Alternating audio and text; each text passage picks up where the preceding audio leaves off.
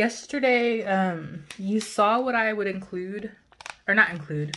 You saw how I packaged my press-ons. It's like a cheap, easy way. I used the 4x6 card from Vistaprints. And then I have these foil pouches that are 5x7. These fit right inside. Um, you might have to push it down a little bit, but it'll fit like right under the zipper. Um, so that's that. And then inside of this pouch, oh, wait a minute. Even though this is in my other video, I'll try to link it. I use a double-sided tape so you can press the press-ons on. As far as what I put inside the package, I put these orange buffers in. You get like a huge pack online. I can't remember the price because I ordered them like a year or so ago. But they come in like, they're attached like this and you just rip them off. So I use, well, I give people a buffer. I give them two alcohol prep wipes. Um, I give them a mini file. And then I provide them with glue. I give them KDS glue, which is a popular glue. I'm pretty sure if you've been in the nail um, industry or just watching YouTube for a while, you'll hear a lot about KDS glue. It's pretty good. Um, it's what I use with acrylic tips. So I give them what I use. Why not? Um, so it's pretty good.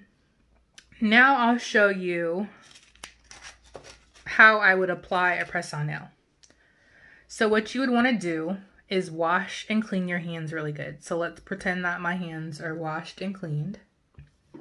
Then you would want to take something like a cuticle pusher. Let me grab one. I totally forgot I have this manicure set that has new cuticle pushers in it. I need to open it and do the review. I just remember that. Um, I found this one laying in my um, drawer, but well, I have an old nail on. Let me find a good nail. Actually, I don't want to use that. So let's say if you washed your hands, right? You would push back your cuticles gently. Just to expose that area. Um, and then you would take your buffer. And what you're going to do is kind of roughen up, remove the shine. You don't have to overdo this part, but you're going to remove the shine from your nail, kind of create some scratches in it, just so that your press-on nail has something to adhere to.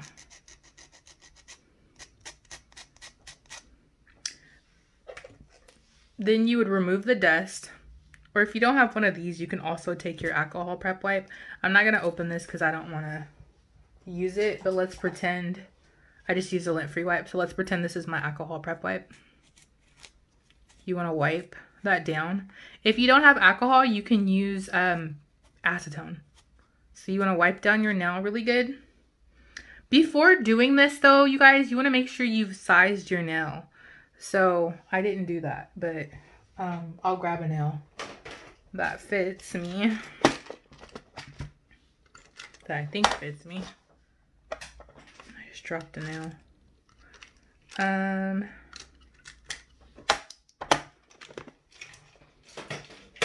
Okay, so you have this.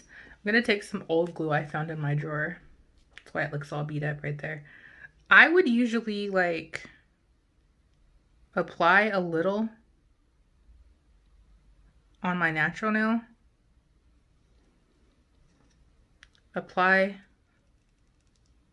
some in my press on. I think I put too much on. Well, I won't know. Apply a little though. You don't want it like seeping out of the sides and stuff and rolling down. And then you want to like line it up, the cuticle, and press down. And that glue kind of like rolls out. If you saw that, it rolled out to the top. You want to try to get the air bubbles out. I think I might have a little air bubble. But if your nails are decorated, you're not going to see this. But this is just a visual to show you um, kind of how you want to do it. You want to hold this down for about well, I guess it depends on the glue you're using because sometimes there's like three second glue or five second glue. Um, maybe eight to 10 seconds. So that should be good. And it's on. So I have a tiny little gap. But you wouldn't be able to see that anyways if it was decorated, if this was already on. I was just trying to show you what it would look like. But yeah, and then it's on there. Like, You know, I will say the first day or a couple hours, they might feel a little weird if you're not used to them. Or maybe that's just me because my nails are short. Um, and I don't, well, I wear them here and there, press ons, but um, you'll get used to them. I mean, don't do anything crazy with them, just like you wouldn't do anything crazy with your acrylics. Uh, don't do anything crazy with your press-ons, but they're on there pretty good. If you applied it really well and prepped your nails good and got the oils off and created a good, you know, like you buffed off and removed that shine good, you should get maybe up to two weeks. The longest I have worn mine for was three weeks and they were still on there pretty good. It's just that I needed to take them off and it like, it took me a while to even get them off, but this should be good to go you would just keep doing that for the rest of the nail. Like I said, maybe size your nails first. Um, you want to make sure that they fit from sidewall to sidewall. Also, um, how you could probably make your press-on nails last or be reusable.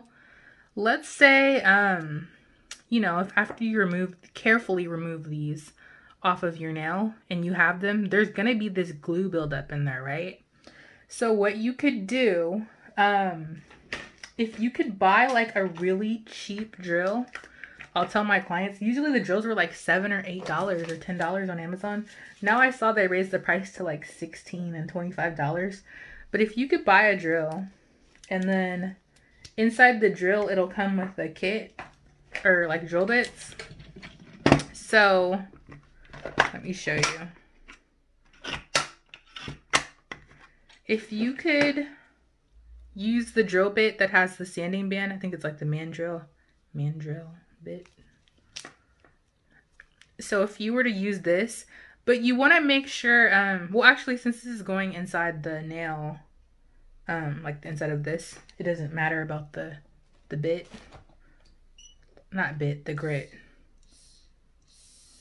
You could literally take this and like gently buff out the glue. Also, if you have one of these though, um, you could even pre-roughen the inside of this. Like after you've pre-roughened your natural nail, you could go in and roughen this up too. You know, and then go in with the glue. We'll wipe the dust out, go in with the glue, and put this on, and you'll probably get even more extra adhesion on there. But this is just to show you how to get the glue out you could gently go in and go like that. Um, when you get to the pinky, it might be too small. So um, there's other drill bits you can get creative with. I don't know. You might have something like this. You could probably gently go in, you know, put it on your drill and like clean that out. And that would probably help you get extra wear out of it. Now, there are these other things called tabs. Let me see if I can find one on my desk. I do have one here. I don't want to open these. I guess I will. I'm not giving these out to anybody. If you were using these, they don't last that long in my opinion. Some people claim they can get like anywhere from one to five days out of these, but I don't know. I think I got like a few hours out of it. But I think they're cool for if you just wanted to walk around with some nails in the house for the day or take some cute selfies. Um, that's what I would recommend it for. Same thing though, you want to prep your nail, dust off um, any dust, use your alcohol wipe, and then you would find one of these that fits your nail best. Um, maybe I'll go in with this. Hopefully this is not too big. So I've pulled this off, right? It has a little tab. I think this is too big for my nail. We'll find out. You kind of stick that in the middle of your nail. Rub it. See, my nails are short. They don't have that extra thing. So I'm going to have this little extra part right here. You separate this little tab though, you guys. I don't know if you can see it. Can you see that? But see, my nails have that little extra piece. A free edge hanging off. This nail is too big, but let me find one. All right, so I found this nail. This is why I said pre-size them, just so that you're not transferring oils and messing up everything. But once again, kind of start from the cuticle like an angle. Hopefully this isn't crooked. And then just kind of press it down. Like roll it down. And then press. Make sure it's on there good. To press on. So we want to press on. But yeah, that's pretty much how you would do these if you are going to do them.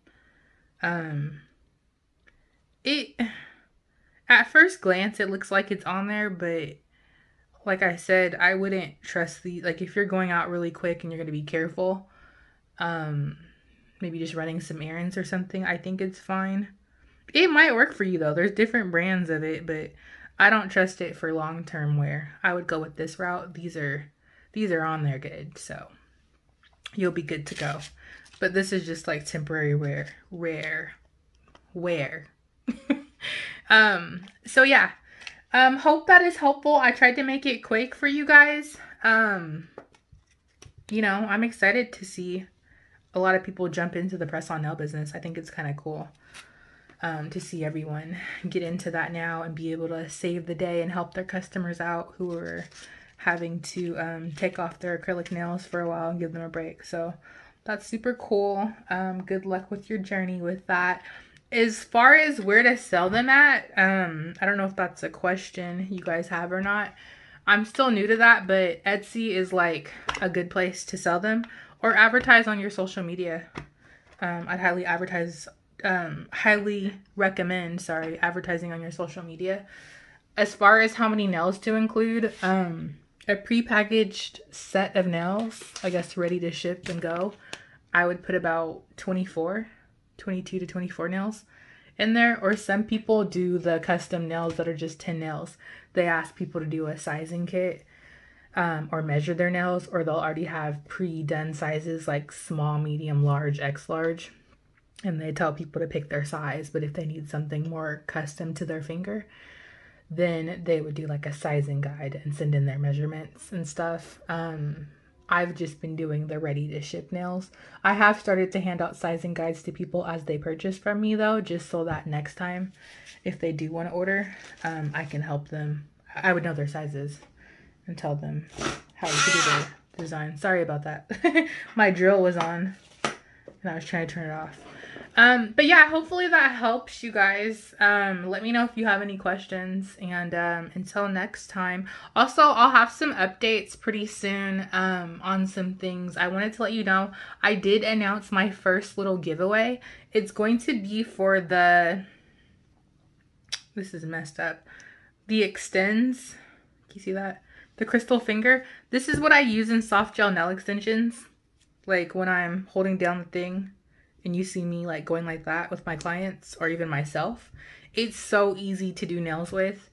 Um, I know some people had some suggestions for like coffee mugs and things they turn upside down to get the same effect, but a lot of you guys were talking about this and you wanted it, but you couldn't get onto the Xtens website because you usually have to register and show you have a license or in school or finished or something.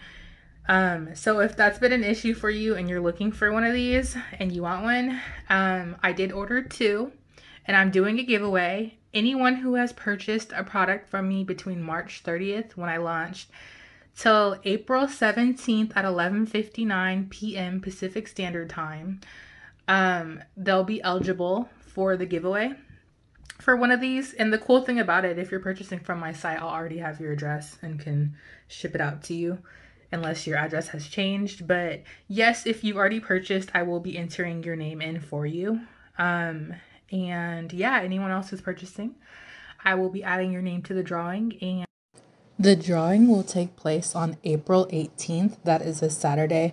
I'll figure out the exact time, but yeah, pretty much any um, purchase counts towards uh, an entry to the giveaway. So whether you want to purchase one bottle or the actual collection, I do offer afterpay as well. Um, I'm finding that that seems to be a popular option for a lot of you guys. So yeah, I would love for you guys to try out the polishes. Be sure to tag me in the look.